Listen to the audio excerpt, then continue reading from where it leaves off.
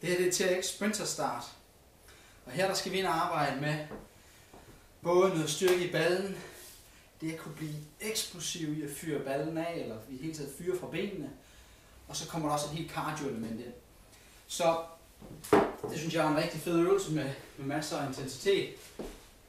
TRX'en gør os helt lang. Vi kommer til at stå med ansigtet væk fra ankerpunktet. Og så læg mærke til, at jeg tager den ind under armene. Men jeg skal faktisk kunne komme helt ud og hænge i den. Jeg synes altid, det er en god idé lige at have, have en t-shirt på til den her. Hvis man gør det her i en, i en tanktop eller noget andet, så kommer den altså til at, at gnave op i, øh, i armhulerne. Så jeg skal helt ned og hænge, ligesom en sprinter, der skulle til at starte.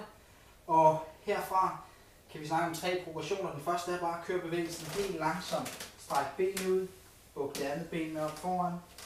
Kom tilbage ned, sæt det bagerste ben ned igen. Så. Og så bliver der gørne med lidt mere fyring på. Og efterhånden, som man begynder at have, have styr på den del, og det er altså vigtigt, at man har det her mønster inde, så kan vi gøre, gøre den rigtig eksplosiv med noget fyring på også her. Så hernede fra, så skal vi springe op og fremad. Og hvis vi tager og kigger på det herovre. så ind under armene, helt op i armhulen med hænderne, Vandrer bagud,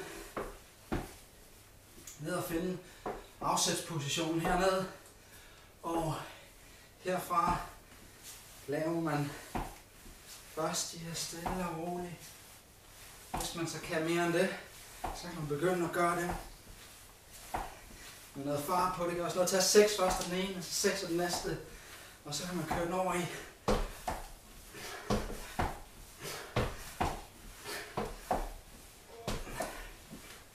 Så I kan se der, der fik jeg trukket en lille smule skævt, begynder at springe skævt, så, så der er også noget helt styring i rummet, balance, alt det her med i det, samtidig med at man får, får pulsen op.